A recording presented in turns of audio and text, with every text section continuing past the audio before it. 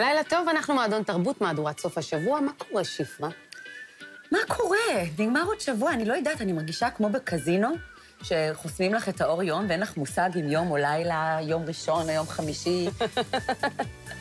אפס תחושת זמן. טוב, היו פה מלא דברים השבוע. נכון, אה, טודי בום נחת עלינו, ושבוע הספר. והטור שלך. שזה אירועים באותו סדר גודל, טודי בום ושבוע הספר. אה, כן, והטור הטור שלי. שלך, כן, הטור בלי שלך. הוא האירוע הגדול באמת. אנחנו נביא לכם את המיטב. נתחיל?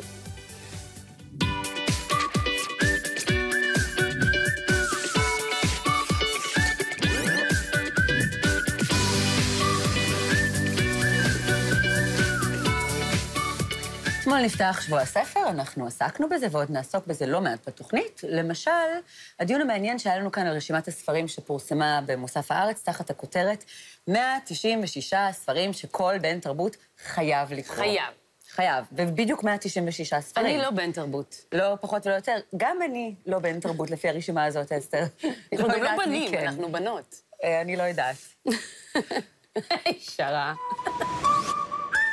הספרים שכל בן תרבות חייב לקרוא. זו הכותרת המתריסה שניתנה לרשימת 196 ספרים באתר הארץ, שהגולשים התבקשו לדרג מתוכם מה, מה הם קראו. עכשיו, מאז שהרשימה עלתה לרשת, היא עושה הרבה מאוד uh, כותרות, ואולי גם זו הייתה המטרה של היא הרשימה. גם גורמת לאנשים להרגיש רע עם עצמם, כי אני ממש... או רע או טוב, למקום למרות ממש שקשה לי. להאמין שמישהו אה, מרגיש טוב עם אה, רשימה כזאת, אבל בואו נשמע מכם, נבית בראל ואמיר בן דוד. לילה טוב. לילה טוב. נבית, את בעצם השתתפת בהרכבה של הרשימה? היא ביקשה ממני עיתונאית אה, לדרג, אה, או לתת לה רשימה של עשרה רומנים ישראליים ועשרה רומנים אה, מתורגמים, שהם מבחינת רשימת חובה. ונתתי רשימה שמרנית למדי, שמייצגת אותי כתלמידה אה, מובהקת של החוגים לספרות אה, באקדמיה, רשימה שמתאימה לסמסטר א', שנה א', אה, מבוא לרומן 101, שזה באמת מה שעשיתי. בעברי הייתי המרצה הזאת של אה, מבוא לרומן. אה, ונתתי את הקאנון. הקאנון הוא מה שסוכני תרבות אה, מסכימים שהן יצירות מופת אה, של תרבות המערב, כי זאת התרבות היחידה שאני מכירה.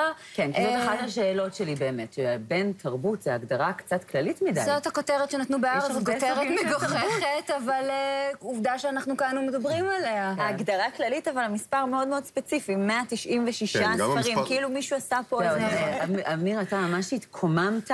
ממש התקוממתי, זה מוגזם, אני מתקומם על דברים קצת יותר קיצוניים, אני משתדל- להתקומם על דברים קצת יותר חשובים. אה, בעיקר הכותרת. זאת כן. אומרת, אה, קודם כל אני מודה ומתוודה שאני סאקר של רשימות. גם אה, אני.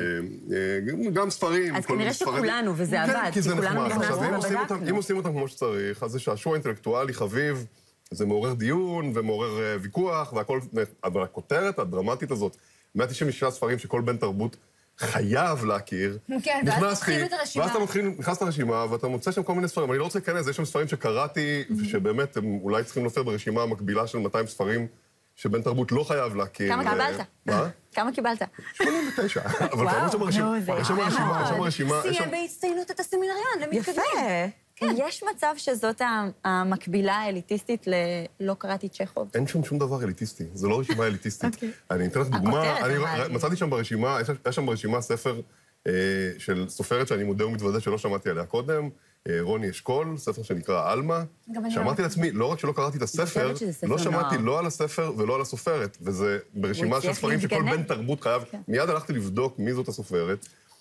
מדובר בסופר, לא, הספר יכול להיות שהוא מצוין, אני לא כן. יודע. זה ספר שיצא לפני שנתיים, ספר ביקורים. נשמע שבעיקר חסרת, חס, חסרה עריכה, כי הם פשוט לקחו איזשהו ממוצע של אה, דעות של אנשים. אין. אין סופרים ערבים, יש את התנ"ך, אבל לא את הברית החדשה. אין לא. ספרי שירה? כן, לא, אין אין ספרי שירה, שירה. נבית, אין ספרי אין ספרי שירה. שירה, לא ביקשו ממני ספרי בן שירה. תרבות זה לא קורא ספרי שירה? אני לא חושב שה... אני חושב שהבעיה היא שאנחנו, אה, במקום לדבר אה, ערב שבוע הספר על ספרים, אנחנו כן. מדברים על הרשימה הזאת. בדיוק. כן. וזאת הבעיה הגדולה. זאת אומרת, הרבה פעמים אנחנו, במקום לדבר על תרבות, מדברים על מה אמרה שרת התרבות, במקום לדבר על ספרים ועל קריאה, אנחנו מדברים על הרשימה הזאת. אבל אני כן רוצה לשאול שאלה על הרשימה הזאת, כי בכל זאת היא הורכבה והשתתפת בהרכבה שלה, יש קאנון.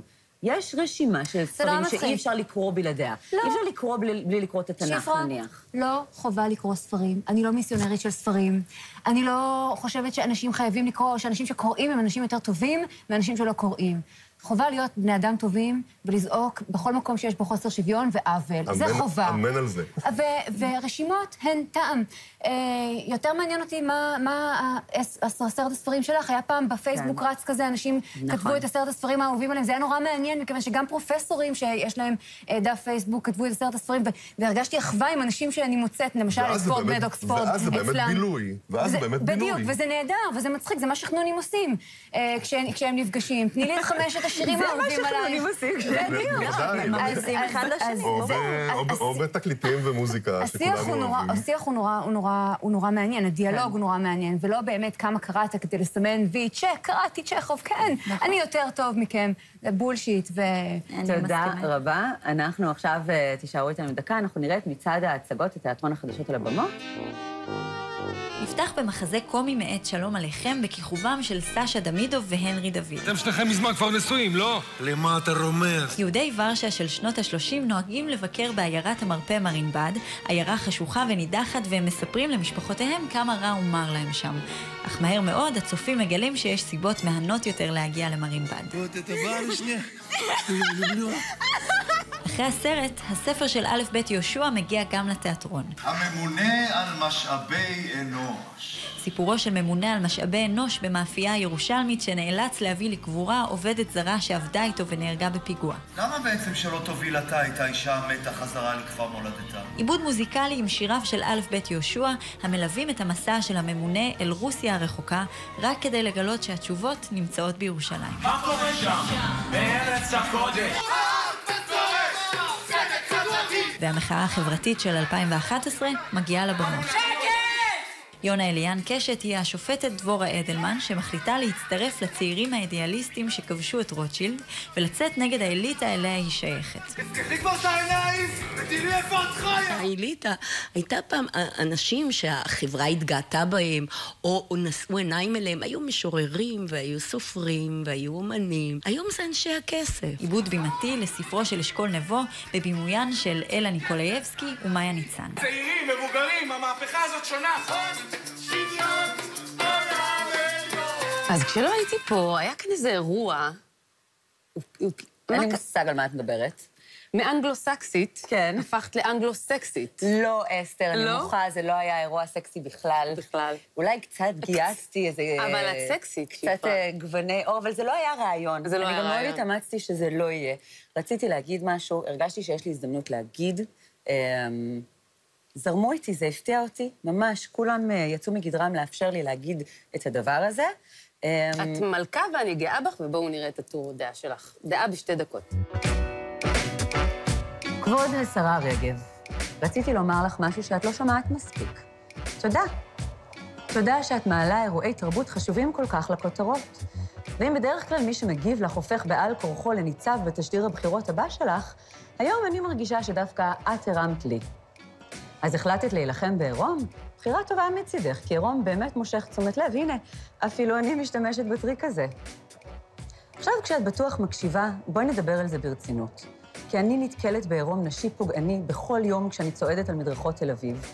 והילדה שלי, בת השש, מרימה כרטיסים מהמדרכה ושואלת אותי, למה האישה הזאת בלי בגדים, ומה מקבל מי שמתקשר אליה? לפני שש שנים עבר חוק האוסר פרסום זנות, ובכל הזמן שחלף מאז היו אפס הרשעות. וניחא שהכרטיסים המטונפים האלה פוגעים לי ולציבור ברגשות, מי שזה פוגע בה באופן יומיומי וממשי, זאת האישה האמיתית וחסרת הבחירה שיושבת בדירה, והרבה פעמים הדרך היחידה שהזנאים יודעים למצוא אותה זה הכרטיס הזה. כבוד השרה, את נואמת כל כך טוב. את אלופת הארץ בלהסיט את המבט ואת הדיון הציבורי לאן שאת רוצה. אני יכולה רק לדמיין איזה נאום היית נותנת על העירום הפוגעני שמרצף את הרחובות. אבל על הנאום הזה אף אחד לא היה שורק לך בוז. ואולי זאת בדיוק הסיבה שלעולם לא נשמע אותו ממך. תערוכה על uh, מוזיקה זה דבר מאוד פופולרי, הייתה עכשיו בחולון תערוכה על הביטלס, uh, הייתה, יש עדיין, um, עכשיו נפתחה באשדוד uh, תערוכה בשם זמר בודד הוא הלב, זו תערוכה שמסקרת את סיפור עלייתה של המוזיקה המזרחית, מהאבות והאימהות המייסדים ועד הפריצה אל לב המיינסטרים. היו גם כאלה שכעסו. נכון, והם גם באו לאולפן והביעו את אה, דעתם. אנחנו זכינו לעשות סיבוב בתערוכה עם יהודה קיסר, אה, בואו נראה את הכתבה של נועה אלון, חברת המערכת שלנו.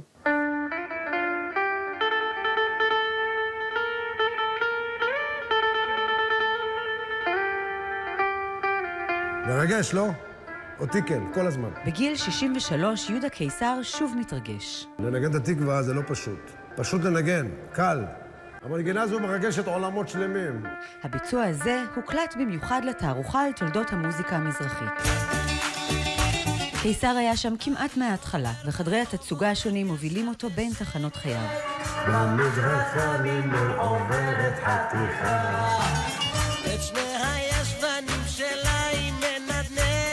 לא היו אז מתנ"סים, ולא היו אה, היכלי תרבות. אז במקום סרט, בקולנועים. אמרו, היום אין סרט, היום יש להקת האור. זה הכלי נגינה של אהובה עוזרי, אני חושב שזה הכלי שנגנה בו עד שנפטרה. היא נתן לי את הבמה הראשונה. היא ראתה שאני מנגן גיטרה וצירפה אותי להרכב שלה. כולם קראו לה ג'אדאית. גיבורה. הטפ הזה הקלטנו בלייב. ככה. כן. אם מישהו נותן אפצ'י... אם מישהו נותן אפצ'י, חוזרים, ואם מישהו משתעל טיפה שלא מרגישים, לא חוזרים. רוצה אדם לנו. אתה יודע, עם זוהר ארגוב הקלטתי איזה 20 שירים. רק עשרה נכנסו בסליל, אז בשאר הייתי מוחק. החל משנות החמישים של העליות הגדולות ממדינות ערב, דרך ימי הזוהר ועד ימינו, תערוכת זמר בודד הוא הלב, סוקרת את התפתחות הז'אנר שהודר במשך שנים רבות מההגמוניה התרבותית בישראל. ניסיתי למצוא את השורשים של התופעה העשירה הזאת שנקראת מוזיקה מזרחית, שלאנשים כמוני שהם אשכנזים, היא נחסכה, כי אני לא שמעתי את זה ברדיו ולא ראיתי בטלוויזיה. הצלילים של קיסר וחבריו המשיכו להסתלסל בשוליים. מוקד ההפצה היה בתחנה המרכזית הישנה בתל אביב. פעם שאלתי את המוכר, אמרתי לו, תגיד לי, קסטה אי אפשר לייצר, זה לא כמו היום דיסקים, אתה יכול לעשות אלפים ביום. קסטה זה להקליט, אפשר לעשות 300 ביום. ואני רואה פה מוכרים, אומר לי, שאני מוכר להם ריקות, הם ילכו הביתה, יראו שאין כלום, יבואו מחר, אני אחליף להם. פה התחיל המהפך, בשיר הזה. כשהקלטנו את זה, זה היה, זה היה חריג, והיה הימור גדול מאוד, אבל ההימור בסוף שבר את כל הקופות. עשרים שנה אחרי אותו רגע מכונן בפריים טיים, המוזיקה המזרחית כבר נמצאת בלב המיינסטרים הישראלי. ועדיין, תערוכה היסטורית שכזו מרגיזה אומנים כמו אביהו מדינה, שכבר הודיע שלא יבקר בה. חבל לי שאביהו מרגיש ככה, אני חושב שאם הוא יבוא לראות את התערוכה, הוא יחשוב קצת אחרת. המלחמה כבר הוכרעה, המוזיקה המזרחית היא המוזיקה הכי פופולרית בישראל. כל הזמנים שאת רואה כאן, הם ישראלים, כולם נולדו כאן בארץ. זה שהם שרים שירים של המסורת שלהם, זה בסדר. אבל הם גם הקליטו שירים בעברית, שכתבו אותם יוצרים ישראלים, שגם נולדו פה. אז uh, להגיד שהם כותבים מזרחית זה קצת צורם, אבל uh, ההצלחות פותרות את הבעיה.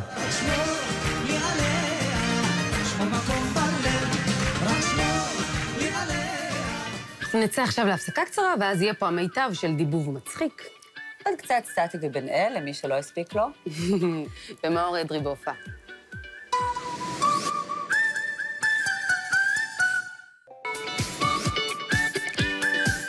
תודה שחזרתם. אסתר, את מכירה דיבור מצחיק? לא, מה זה? זה שני אחים שלפני כמה שנים התחילו לצוץ ביוטיוב סרטונים קוראים של קול מוזר שמדבב סיטואציות מוכרות, נניח אה, קרין גורן הופעה עוגה. אמ, כבר הצחיק אותך? זה כבר מצחיק. שני אחים שעמדו מאחורי הקול הזה, צברו הרבה עוקבים וצופים, וממש קהל מעריצים, שהגדירו אותם כהדבר הכי גדול שאי פעם קרה, משהו מוגזם בטירוף. אני אבדוק את זה. את תבדקי את זה? אני חושבת שתגלי שזה די מצחיק. בר כדורי הייתה שם בערב הראשון שהם עשו דיבוב מצחיק בלייב. בלייב? מרקו, מרקו שלי. קח אותי לשם, פולי. אנחנו נציל אותה. אך, אני שונא דרדסים. קולות רבים וטובים עזרו לעצב את חוויית המסך של ילדותנו ושל ילדינו. הדיבוב מלווה את התמונה ברקע, שחקן משנה בהצגה. או שלא. ספלינטר, ספלינטר, תקום, אסון! היה לי חלום טוב, מה את עושה בלי... לפני יותר מעשר שנים, אני ואחי ישבנו יחד בחדר, ופשוט משעמום. פתחנו ערוץ טלוויזיה ישן, תוכניות דת אמריקאיות, METV. לא יכולנו לשמוע את זה בקול רם, כי זה היה לילה, אז היינו חייבים לעשות מיוט. ופתאום התחלנו לדבר במקומם, כי הם עשו כל מיני תנועות מצחיקות, זה התאים בול, וככה זה התחיל. אתה לא תגיד לי, הנה זה מה שהוא אומר לו בעצם. בוא נראה מה יצא. איידס. וואי, אולי זאת אימא שלי למטה. זה לא אמא שלך, ילד. כשבן ואמיר חכים התחילו לדבב לעצמם, הם לא העלו בדעתם לאן התחביב הזה ייקח אותם. לקחנו מצלמת וידאו ושמנו אותה מול הטלוויזיה, וצילמנו את הטלוויזיה, וישבנו מאחורי המצלמה והתחלנו לדבר במקום הדמויות. זה התפתח לאיזשהו מדיום, פתאום אמרו לנו, היי, אתם אה, אה, תופעות רשת, ואנחנו בכלל לא ידענו מה זה, כי באמת לא הייתה רשת אז. 11 שנים אחרי שהעלו את הסרטון המדובב הראשון לערוץ היוטיוב שלהם, דיבוב מצחיק ומותג מצליח. מה הסרטון שאתה הכי אוהב? אני חושב, אה, וואי, זה קשה נורא, זה באמת כמו לבחור את הילדים שלך. קרים גורן מספר 8. מתחילים עם 280 מיליון גרם חמאה. אוי! תוכנית דת 10. אנחנו מארחים עכשיו את אה, מליאן סופרי. מליאן סופרי. שרדר! אנחנו עושים שעת כושר, איפה אתה? איפה אתה? לא צחצחת את שיניך. אה, צחצח, צחצח. הצחוק שהם צוחקים ברקע זה, זה, זה עוזר, זה ישראלי, זה כזה, את יודעת. הם כאילו אנשים של פעם, ב- ב- פעם במאה. אני חושב שאפשר להשוות אותם לדה וינצ'י, ל- למוצרט. עם 40 אלף משתמשים רשומים ו-15 מיליון צפיות במאות הסרטונים שדיבבו, האחים חכים התחילו למנף את העניין. ערבי הקרנות של סרטונים חדשים ומכירת מוצרים ממותגים. זה מה שאני רואה כל בוקר כשאני מתעורר, זה כאילו עושה לי את היום. הדיבור מצחיק כאילו שינה לי את החיים. אני מודה שאני צוחק בקול רם. לא הרבה דברים גורמים לי לצחוק בקול רם. ערב ההקרנה, בית ציוני אמריקה, אולם מלא, דודו ארז על הבמה מחמם את הקהל, ואז מגיע תורם של הכוכבים האמיתיים. היי, אני צ'אק נוריס, אני מושך את המכשיר הזה, אני מושך את העולם בעצם. נראה לי היא עולמנית למות. אני הולך לקבור אותה וחוזרת, טוב? במשך כל השנים הם שמרו על אנונימיות. לא מזמן החליטו להיחשף בדף הפייסבוק שלהם, מה שהוביל לעוד החלטה. דיבוב ראשון מול קהל. אבא! עזוב אותנו בשקט, חביבי. איך לא קנית לי סיגריות? זה אני ששרפתי את הטוס. שמאלה! טבילת האש הצליחה, וכעת כבר מתכוננים למופע הקיץ שלהם באוגוסט. בעצם הקהל זקוק לזה, כי זה סוג של פרודיה אה, על, על תוכניות, וזה תמיד יהיה פרודיה ביקוש.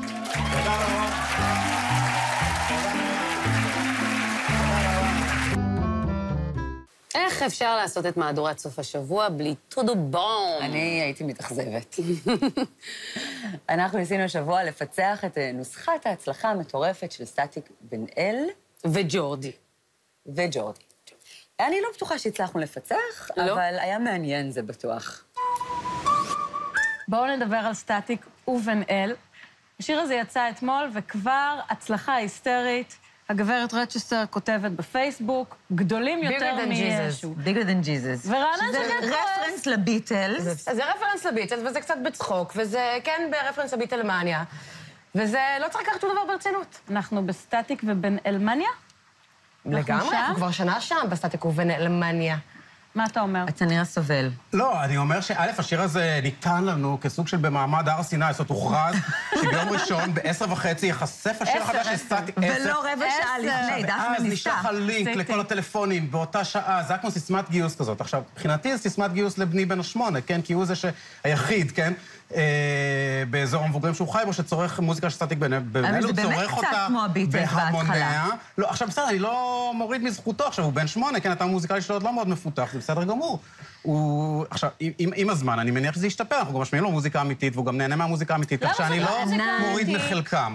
עכשיו, אני, אני חייב להגיד ש... לא, א', קצת עצבן אותי ש, שזה הפך לאירוע לאומי, שיר חדש סטטיק ובן אל, חבר'ה שעד היום יש להם חמישה או שישה שירים, כי ענת, זה, אתה משתתף זוהי תרומתם לתרבות הישראלית. עד היום. אתה יושב באולפן ומדבר עליהם, אתה חלק מהאירוע. בסדר גמור. אני, אני מנסה להגיד שהאירוע קצת מופרז לטעמי, אוקיי? כי בוא, זה אנשים שעוד לא הוציאו אלבום, אוקיי? לא שהאלבום הוא כבר חשוב, אבל אני אומר, דווקא במקרה גם שמאזינים לשיר הזה, מתברר שגם הרכב זה כבר לא חשוב, משום שהאנשים האלה עושים בכל פעם מין מכונה כזאת שעושה כל פעם מה שג'ורדי נותן לה לעשות, שזה כל פעם משהו שונה לחלוטין, אין שום קול של סטטיק ובן אל, אין דבר כזה. דלית, אבל את מסכימה זה דבר- שאולי אולי זה לא רק הרכב או רק להקה, אולי זה כבר מותג פשוט?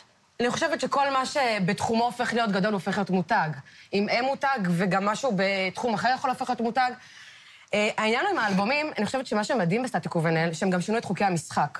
הם אמרו, חברים, בשביל מה להוציא אלבום? אם מישהו היה יודע גם מה, בהיסטוריה של המוזיקה, מה היה קורה עם אלבומים, פעם, בשנות ה-60 הרי בכלל לא היו אלבומים, היו רק אה, תקליטים של רדיו, היה די-ג'יי.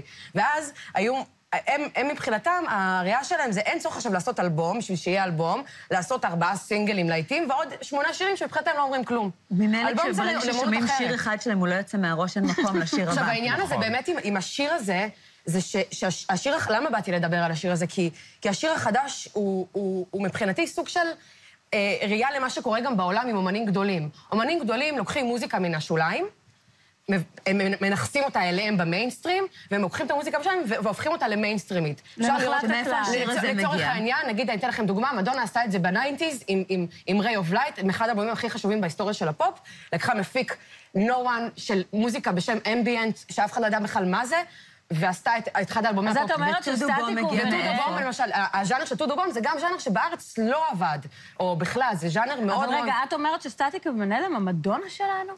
אני, אני לא, לא, לא אגיד שהם המדונה, כי פה אני גם מזהה. לא, ישו כן המדונה. אני יכולה- להגיד שהם לא הביטלס, הם לא כן, מדונה והם לא ביונסה. אבל הם עושים המון המון מהלכים שכן מזכירים את זה בראייה ההיסטורית. לגבי הביילה פאנק, ביילה פאנק זה, זה מוזיקה שמקורה בברזיל, שאגב, גם סטטיק בעצמו הוא מברזיל, הוא נולד בברזיל. אה, אתם ידעתם את זה, אני מניחה. ידענו. אה, אה, אנחנו ביילה יודעות הכל על סטטיק ביילה ובן פאנק. זה ז'אנר שנולד בשכונות העוני בריו דה ז'נרו. זה... אה, וזה מתאים בול לכיכר ביאליק בתל אביב, זה אה, ממש... שכונת העוני של כיכר למה ביאליק. זה מרגיז אותך? יש... זה לא מרגיז אותי בכלל, אני חושב שזה פשוט שלא שיר טוב, לא אכפת לי איך תקראי לזה, אני גם לא משוכנע שריי אוף לייט הוא מהאלבומים הגדולים בהיסטוריה, אבל בסדר. רגע, אבל זהב, אה, כששמעת אני פעם חושב- ראשונה, אה, זהו, עכשיו אני אגיד ככה, לך? א', זהב נתפס יותר פעם ראשונה, וגם ברבי, וגם אה, כביש החוף, וגם אה, השטג דוביגל, אה, שהיה שיר מצוין, אגב. אבל מה, זה נכון, אגב, שגם שמעתי אותם המון, כי הכריחו אותי, הילדים הכריחו אותי, והם גם גדלו חושבים על עליי. השיר החדש, עכשיו, רגע. השיר הזה, אני, אני מרגיש, ושמעתי אותו די הרבה לקראת הגעתי אליכם, שגם כשהוא יגדל עליי, והוא יגדל עליי, הוא יגיע למידות אקסטרה שמאל. זאת אומרת, זה לא שיר אבל טוב רענן, שלהם. שנייה, בתור בן אדם שבאמת כותב הרבה על פנים שונים של ישראליות ועל החברה, בכל זאת, אי אפשר להתעלם מזה שצמח פה אייקון. תגיד לי למה. אני מרוצה מהאייקון, אין לי בעיה עם למה הם האייקון. אייקון? מה יש בהם שכל כך הרבה אנשים אוהבים אותם? הם מתאימים מאוד לילדים. אבל זה לא רק אבל לילדים. כולם זה- אוהבים זה אותם. כמו לא, המשחק, זה- ילדים זה- אוהבים אותם. זה שלוש עד שמונים. לא, לא. אני אתה לא- אתה לא חווה שם את אני? לא אני מכיר, אני, חברים שלי וגם צעירים ממני, ואנשים בפיד שלי, וזה, הם לא שומעים סטטיק ובן-אל, הם לא יבואו הביתה, יגידו, מה אני אשים עכשיו בסטרימינג של אפל? אני אשים. סטטיק ובן-אל. אף אחד לא יעשה את זה. הם לא אבל יעשו את זה. כשיהיו לך אחים ותרצה לשים להם. מוזיקה אה, מרימה, אתה כן תשים את זה. אני לא רוצה לשים להם מוזיקה מרימה. אני רוצה, וכשאני רוצה לשמוע בעצמי מוזיקה מרימה, אני גם- אני גם מתערב שרצ'סטר, אני מתערב שאף אחת מכן, אוקיי, אולי את כן. אני שמה לא באה סטטיק הביתה אומרת. עכשיו אני בספוטיפיי, או לא יודע, באיפה את? באפל מיוזיק, אני שמה לי סטטיק ובן-אל, בא לי להרים. כן, את עושה את בחוויה זה? שלך, את מנגנת מוזיקה? להרבה אנשים. הוא- להרבה מאוד הוא גילאים. מייצג? הוא מייצג? אני לא חושבת, אני חושבת שמה ש... מה- חלק מן ההצלחה של סטטיק ובן-אל זה ה crossover שלהם. יש משהו ש, שאני קוראת לו מוזיקה לסבתות. מה זה אומר? אתן לכם דוגמה, יש המון המון אומנים שמוציאים שיר שהוא הכי פופ והכי עדכני, אבל השיר הזה, גם סבתא שלי, אמנם לא בחיים, אבל גם יכולה ליהנות ממנו. אה, נגיד לכם תודה ממש שבאתם. זה כיף לראות נושא שמוציא כאלה אמוציות. תראו איזה אמוציות, זה טירוף. כמו כל מהדורת סוף שבוע, אנחנו עם המלצות בילוי לשישי-שבת. מחר, מצעד הגאווה בתל אביב. אני הולכת. את הולכת? אולי. אני לוקחת את הילדות כל שנה, זה סופר כיף. נו, מעולה, אז החל מ-10, הפנינג גאה, שהוא גם ידידותי לילדים בגן מאיר, ומ-12 מתחיל המצעד, שיסתיים בפארק צ'ארלס קלור. סטרייטים, ביסקסואלים, מוזמנים ביותר. אמרתי bi. זה חשוב. נכון. כוכב הזמר היווני-ישראלי טריפונס יופיע בשישי בשלוש אחר הצהריים במועדון הגריי ביהוד. את שמת לב שדברים לוהטים קורים במועדון הגריי ביהוד? מסתבר. תמיד בהמלצות שלנו יש שם משהו מעניין. עם כל רפטואר הלהיטים שלו, החדשים והישנים. ובמוצאי שבת, ההצגה Green Mile עולה בהיכל התרבות בקריית מוצקין, זה עיבוד של תיאטרון באר שבע לספר המפורסם של סטיבן קינג על המייל האחרון, שבו צועדים הנידונים למוות. במעלות, במוצאי שבת, המופע אקווריום של תיאטרון חיפה, זה בעצם מופע תיאטרון פיזי על נבחרת שחייה אומנותית שמתאמנת, משוחחת, מתווכחת, מתאהבת, והכול בתוך המים. זה מטורף. תודה שהייתם איתנו, לילה טוב, נתראה בשבוע הבא. עכשיו ניפרד עם קטנה של מאור- מאור אדרי. קטנה. קטנה. ביי.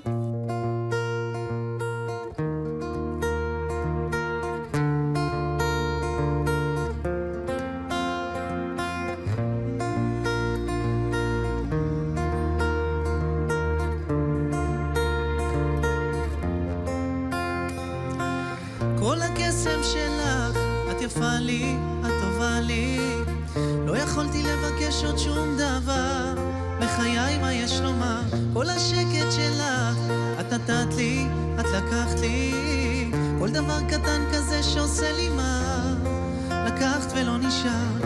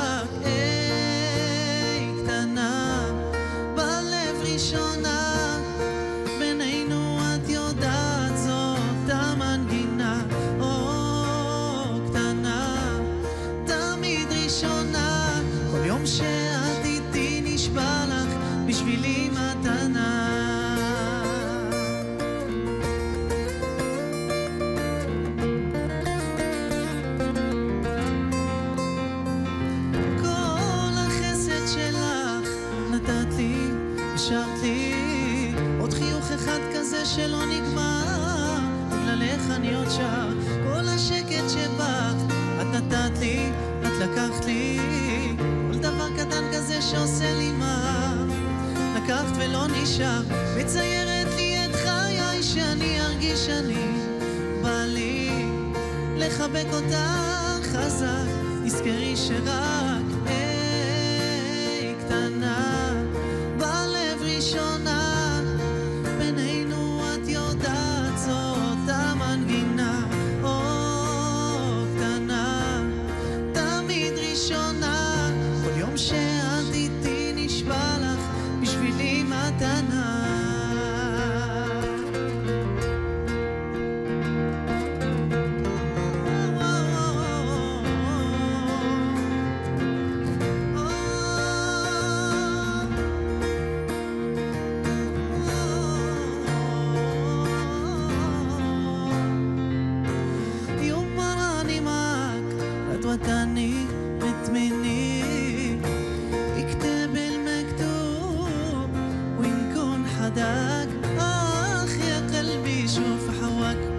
نرى فوق بحر صافي مواجه تاني معاك.